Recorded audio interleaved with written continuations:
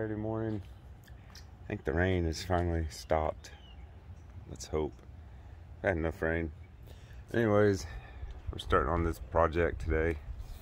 We're gonna get this vinyl soffit taken down and uh, start prepping all of our redwood we're gonna put up here. Whole reason this project started, long story short, I had to replace this light and as you can tell they cut the vinyl way too big for the old light that was up here. It was just some of them cheap square lights. Also have this siren strobe light thing that was a ADT product. We don't use ADT, so get rid of that also. But uh, yeah, we're gonna start tearing this down and getting some redwood ready.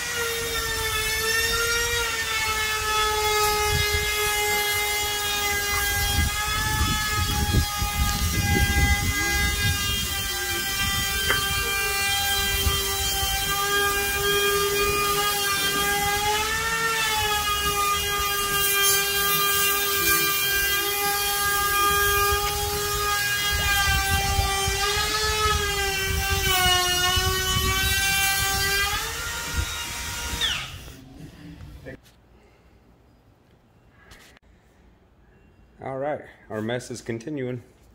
Now we got our trim pieces uh, cut to, roughly cut to length and hit them hard with the round over. Just gave them a nice little detail to them. So now me and Emma are going to pull some measurements, get some miters cut on these, and then uh, Emma here is going to start cleaning up this mess that she made in my garage. No, I'm just kidding. I'm to help her clean it, but we actually, on these, I'm sure some people will say it's wrong, whatever, but it's not your house, so I don't care. Uh, I didn't have long enough pieces, so we joined pieces together and pocket holed them, but uh, you probably didn't even know that until I showed you, so there it is.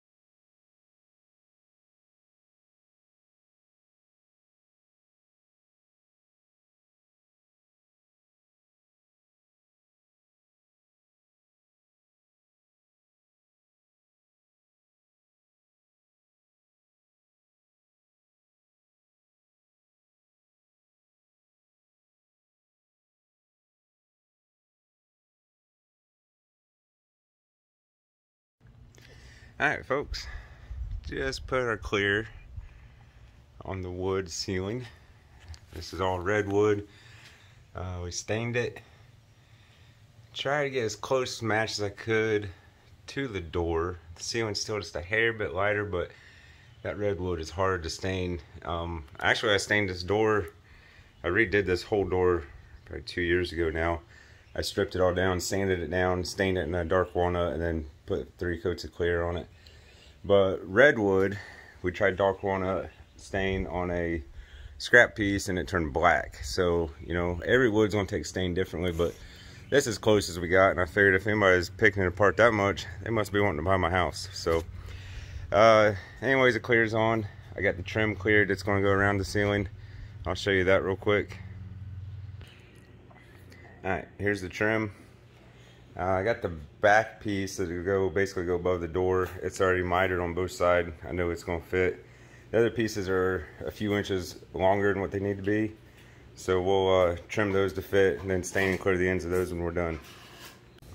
Alright guys, patio ceiling is done. I'll show you what we did. Hopefully you can see it pretty well. We got a lot of sunlight right now, but it's got beautiful wood grain to it. Not all the boards are the same width, which I kind of like that look of it. Trimmed it out with the same redwood and even did some fancy trimming here on the ends. Let me see if I can zoom in so you can see it. So actually made it look like it kind of just curves in instead of just, you know, cutting it flat and stopping it. But overall, I think it looks a hundred times better than the, the white vinyl soffit we had up there. The vinyl soffit just so wavy looking, had all them holes in it and old security stuff mounted to it and everything. Not a hundred percent match to the front door, but it's about as close as you can get. Redwood stains extremely different. My doors are mahogany, so you know it's actually two different colors of stain on them, but it's close as we get it. I tried the same stain that was on the doors, and it turned that redwood black, so that wouldn't work at all. But hope you appreciated watching our video, and uh, if you got any questions, leave them in the comments. Thanks for watching.